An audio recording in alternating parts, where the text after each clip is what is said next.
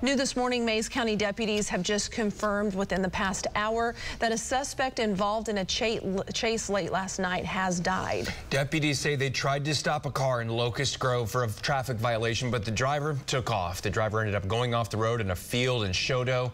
Deputies say when they walked up to the car, the driver already had a gunshot wound. Deputies say the car the suspect was in is also connected to a shooting in Delaware County. Again, the suspect has since died. The case has been handed over to the OSBI.